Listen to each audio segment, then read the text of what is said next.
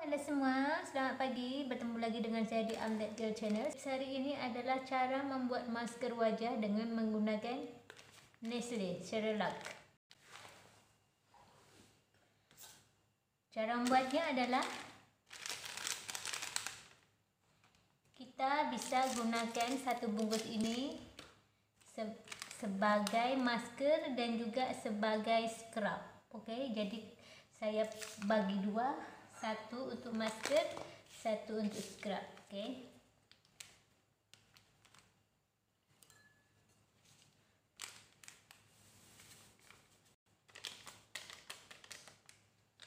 okey satu bungkus jadi dua. Yang ini kita gunakan untuk masker yang ini kita gunakan untuk scrub wajah.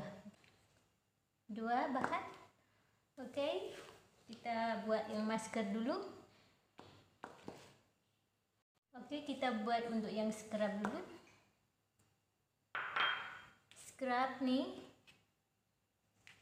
Ni dah cukup kasar.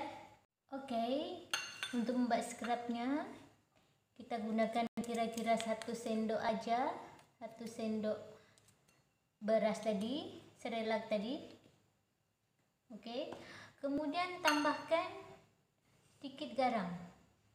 Untuk membuat lebih kasar, kita gunakan sedikit setengah sendok garam setengah sendok kecil garam. Okey kemudian tambahkan satu sendok atau setengah sendok sesuai dengan kebutuhan minyak zaitun. Aduk.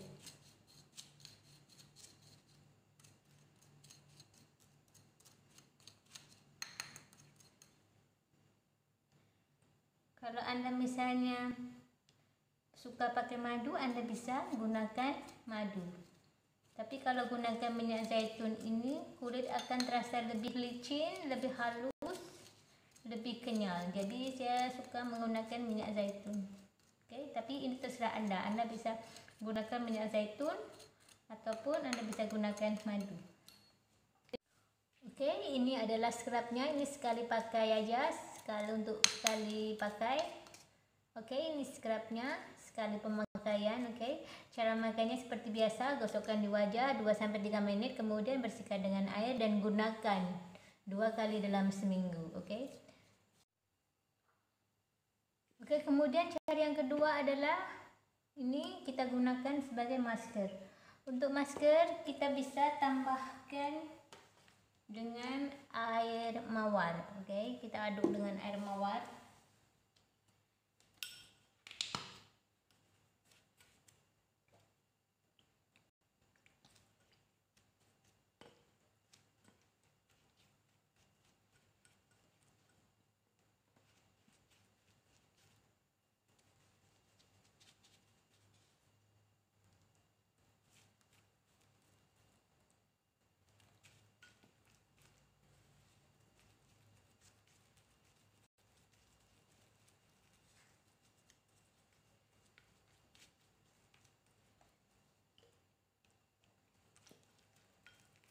anda bisa tambahkan jus tomat.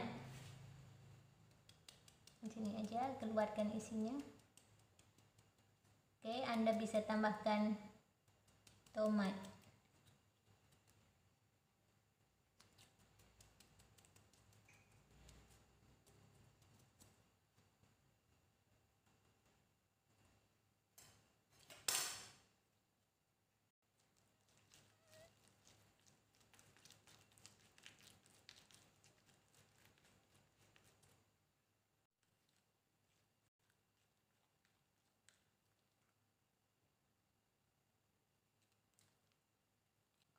Cara memakai masker ini adalah pakailah seminggu sekali setelah wajah dibersihkan, kemudian oleskan di wajah merata dan biarkan selama 10 menit, kemudian baru bilas dengan air.